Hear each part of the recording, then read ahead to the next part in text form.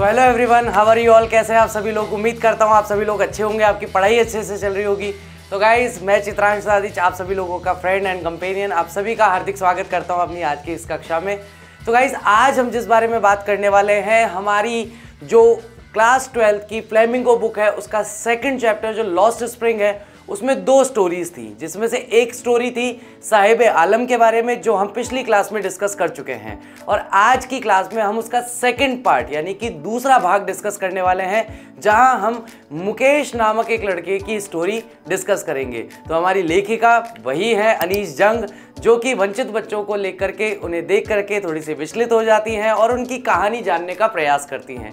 तो इस बार भी ऐसा ही होगा कि यहाँ पर जो अनीस जंग है, वो मुकेश नामक एक लड़के से मिलेंगी और उस लड़के के साथ उसके घर की तरफ़ जाएँगी। और कैसा उनका अनुभव रहता है घर जाते समय रास्ते में, वो क्या ऑब्ज़र्व करती हैं? उसके घर जाने के बाद उसके घर की दशा कैसी है मुकेश की? और अंदर उसके माता पिता दादी, उसकी भाभी, ये सारे लोग उनको क्या बताते हैं? आसपास के कुछ नवयुवकों से भी वो बात करती हैं, कुछ यंगस्टर्स से बात करती हैं, वहाँ की समस्याओं को लेकर, वहाँ की परेशानियों को लेकर, और किस तरह से वो यंगस्टर्स उन बातों का जवाब देते हैं।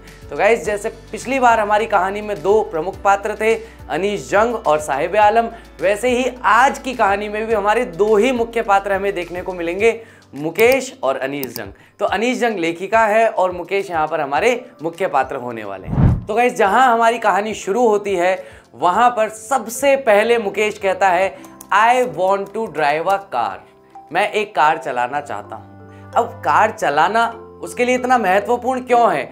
इसको हम लोग इस चैप्टर के अंदर देखेंगे। तो मुकेश एक ऐसे परिवार से बिलोंग करता है, जो परिवार फिरोजाबाद में रहता है और उनका खानदानी काम जो है वो चूड़िया बनाने का है। यानी कि कांच की चूड़िया बनाने का काम फिरोजाबाद में सबसे ज़्यादा होता है। पूरे भारतवर्ष में अगर हम ये देखें कि ग्लास ब्लोइंग इंडस्ट्री यानी कि कांच को पिघला कर वस्तुएँ या सामान बनाना या कांच की चूड़ियाँ बनाने का कार्य कहाँ होता है तो उसका केंद्र बिंदु है फिरोजाबाद। फिरोजाबाद में वैसे बहुत सारे हज़ारों परिवार रहते हैं जो इस एक ही कार्य में लगे हुए हैं। लेकिन क्या वो उस कार्य को करके बहुत ज़्यादा समृद्ध हो गए हैं? क्या बहुत ज़्यादा अमीर हैं? क्या बहुत ज़्यादा खुश हैं? क्या उनका जीवन बहुत ही सामान्य तरीके से चल पा रहा है या नहीं चल पा रहा?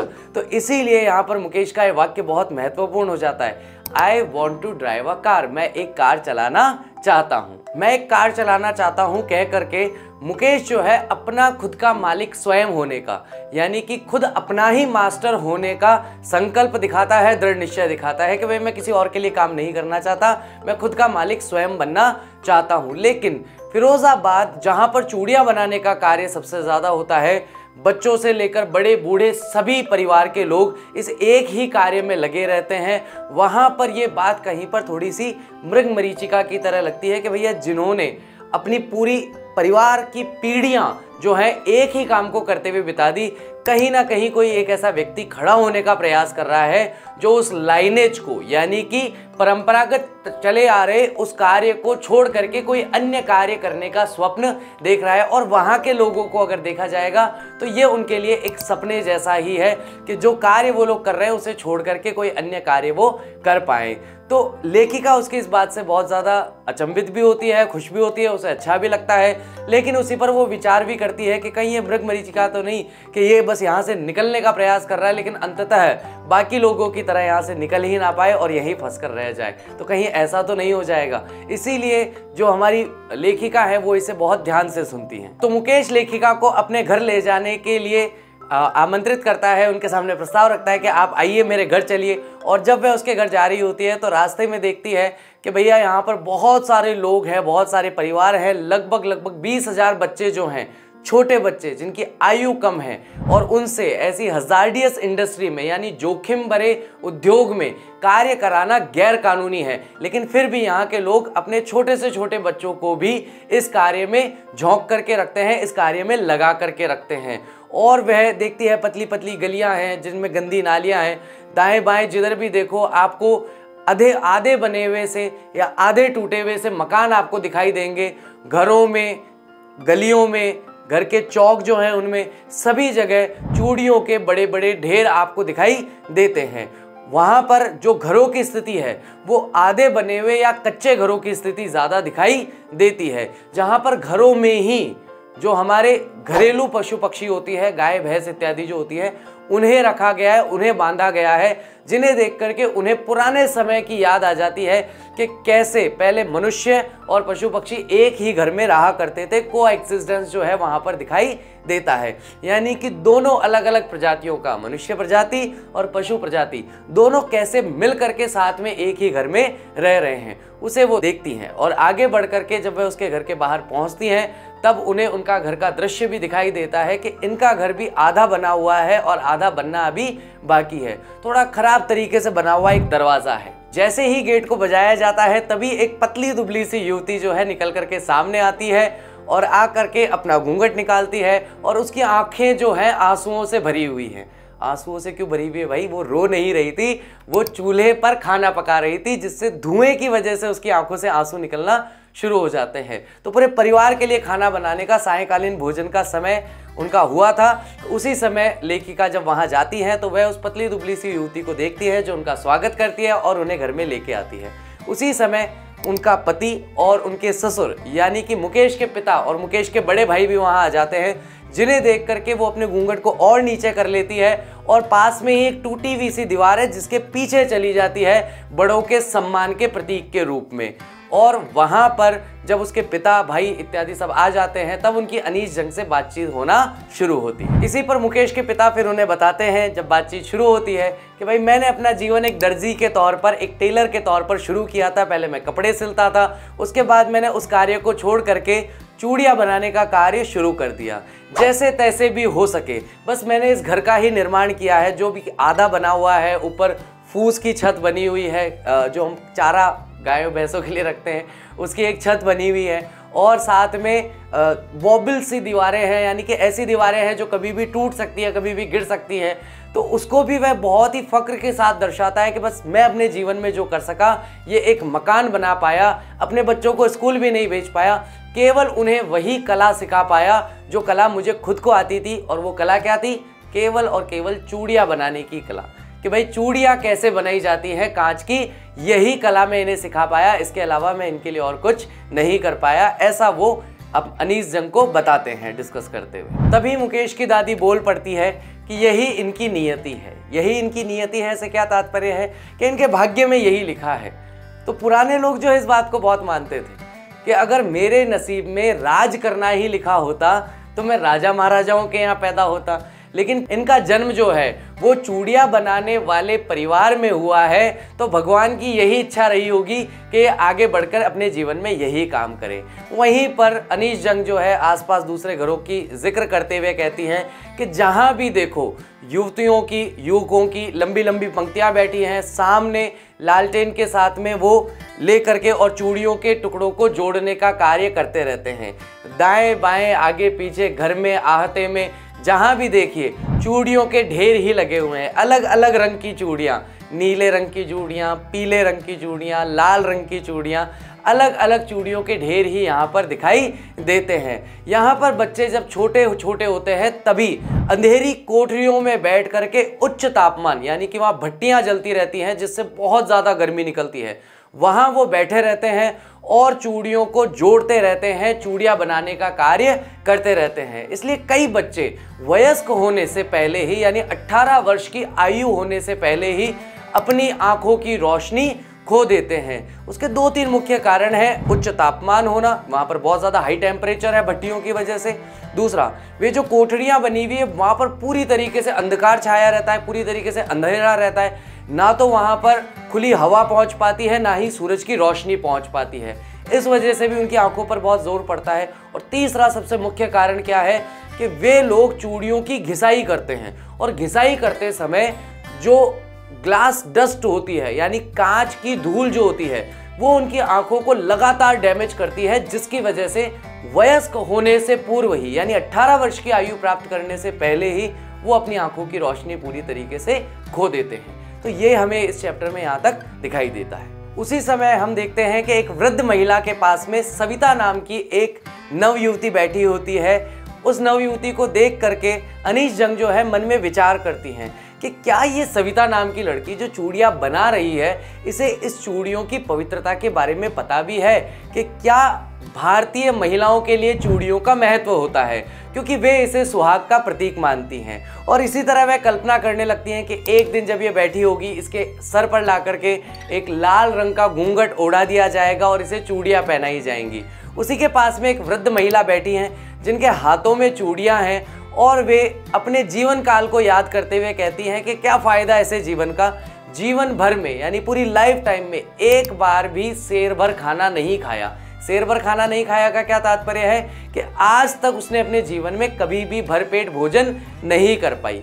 उसी समय जब उनके हस्बैंड वहाँ पर बैठे हैं, जिनकी बड़ी बड़ी सफ़ेद रंग की दाढ़ी है और वो आकर के कहते हैं कि भाई, मैं अपने जीवन में केवल इस मकान का ही निर्माण कर पाया हूँ और कुछ भी नहीं कर पाया। तो इस प्रकार से जब हम उनकी बातों को सुनते हैं, जब हम उनके जीवन को देखते हैं तो हमें ये बात समझ में आती है कि वे इस उद्योग में लगे हुए तो हैं, वे उस कार्य में लगे हुए तो हैं चूड़िया बनाने के।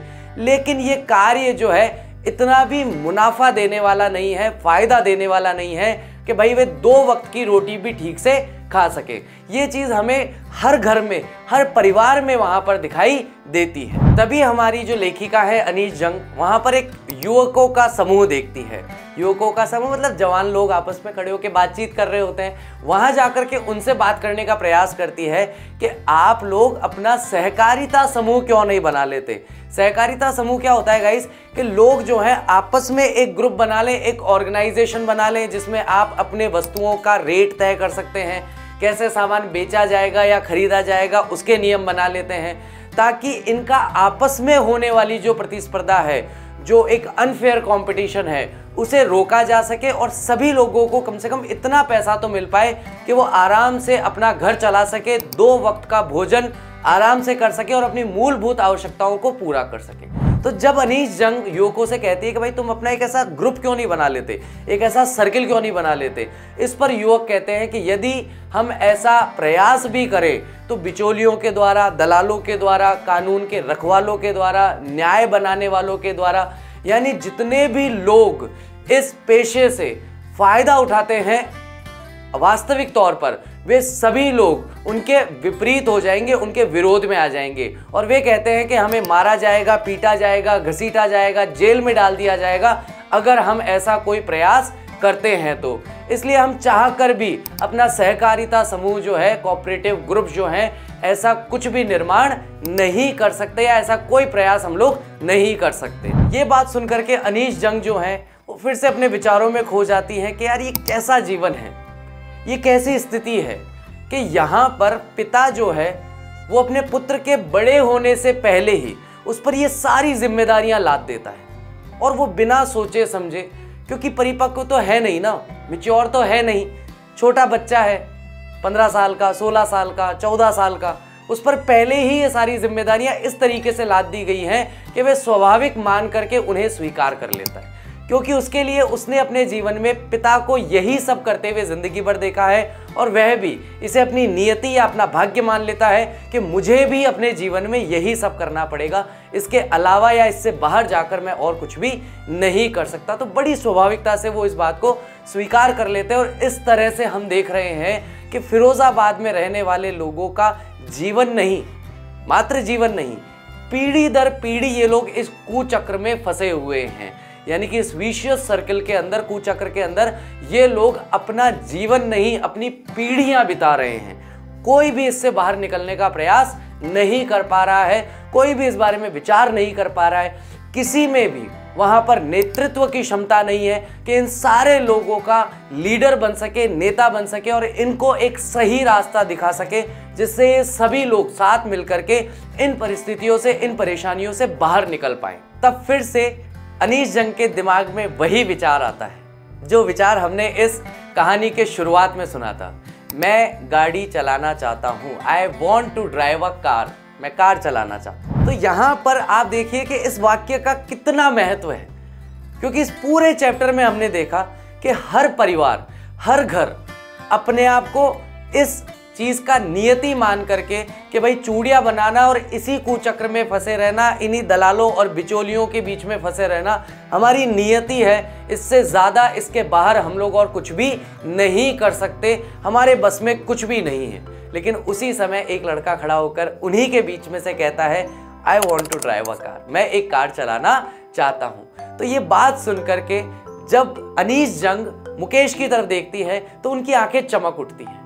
उनको एक खुशी सी महसूस होती है कि चलो, कम से कम कोई तो इस चीज़ से बाहर निकलने का प्रयास कर रहा है। तभी उससे और बातचीत करने का प्रयास करती है, उनसे पूछती है कि भाई, तुम कहाँ जाओगे?